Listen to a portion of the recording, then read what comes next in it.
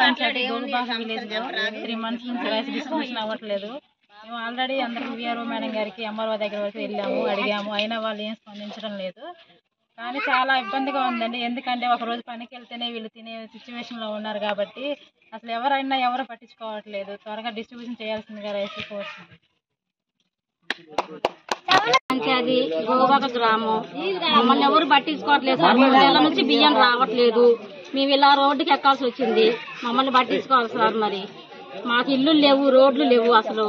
ఆ గోవాక వెనకబడిపోయింది మమ్మల్ని కేజీ బియ్యం డెబ్బై రూపాయలు పెట్టుకునే అంత సోమతి కూడా లేదు సార్ మాకు. మమ్మల్ని ఎట్లయినా దయచేసి మమ్మల్ని చూడాల్సి చూస్తున్నాను పట్టించుకోవట్లేదు సార్ అసలు. మూడు నెలల నుంచి రేషన్ ఇవ్వట్లేదు అసలు. అక్టోబర్ నవంబర్ డిసెంబర్ జరుగుతుంది. ఇంత మట్టుకు బియ్యం రాలేదు మా గోగుబాకి. దయచేసి. ఒక రోజు కూలికి పోతే రెండో రోజు కూలి దొరకటాలేదు. మా ఊళ్ళో కమ్మ కాపు లేరు. మేము చచ్చిపోతున్నాం బోకే ఈ రెండు రోజులలో మాకు రేషన్ రాకుంటే మాత్రం పై అధికారులకు పో దగ్గరకు పోతాం. ఢిల్లీ అనే పోతాం.